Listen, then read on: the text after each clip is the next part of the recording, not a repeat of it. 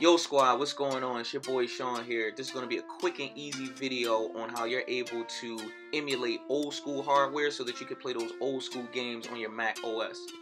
So you're just going to start off by going to openemu.org and then you're just going to download the file that's there. Give it some time to download. It's going to download as a zip file.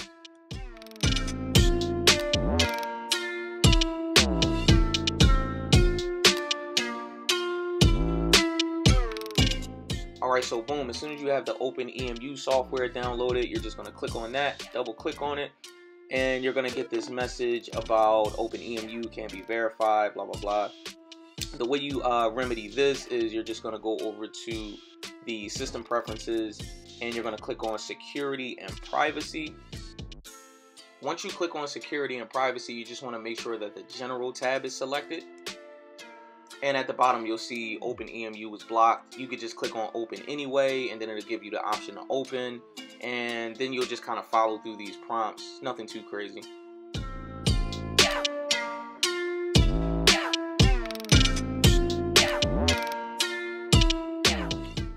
Obviously, in order to use the app, you're going to need to be using some sort of input device like a controller or a keyboard. This assumes because you're on a laptop, you're going to be using a keyboard. So it's going to ask for those permissions for OpenEMU to be able to use the keyboard. So you just have to grant it access and grant it permission to be able to use the keyboard. The cool thing about OpenEMU though is that you can also connect a controller. So you can connect either a wireless controller or you can connect a controller via Bluetooth as well. So you don't have to use the keyboard. That would be super inconvenient anyway. Alright, so as you all can see, I went over and tried to install Syphon Filter 2. That was like one of my favorite games back in the day. So when you try to open the first game, no matter what game it is, whether it's Syphon Filter, Mortal Kombat, whatever, Resident Evil, you'll see that these bin mm-hmm. files are missing.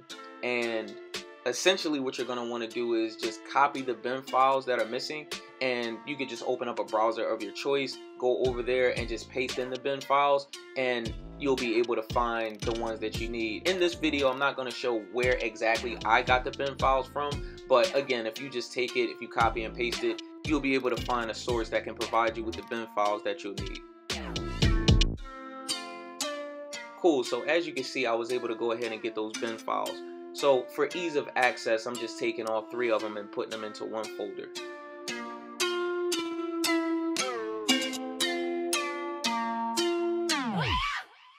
Alright, and here all you're to do is literally just highlight all three of the bin files and just drag it straight into the open EMU window.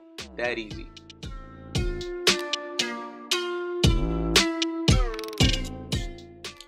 Alright, so as you can see here, there's a required M3U file missing. You don't really have to worry about this too much, especially if you're dealing with uh, single disc games.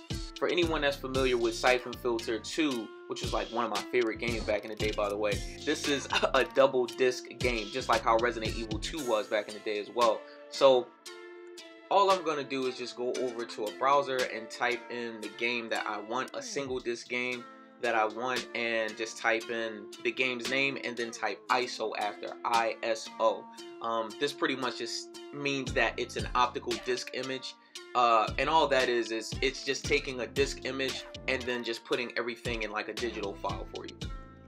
And keeping it in the tradition of Syphon Filter, I just went ahead and got the first one, which is a single disc game, which will make it easier for us to get it uh, fired up in OpenEMU. Cool. So as soon as you have that file downloaded, the game that you want, the one that you found the ISO for, you're gonna go into that folder that it came from and you're gonna look for the CUE file, C-U-E, you're gonna look for that file, and then you're just, again, literally just drag it right over to the open EMU window and you see it right there, it just comes right up. It comes right up and you're able to double click on it and that thing just fires up, man, and you're ready to go. I know this is probably like super nostalgic for everybody watching this, it gotta be. You're here for a reason. You're you're here to be able to get these games on your computer. So I know this has got to be nostalgic for everybody. Seeing that PlayStation logo, you know, seeing all of the different logos, man, it's uh, it was definitely a time to be alive for sure.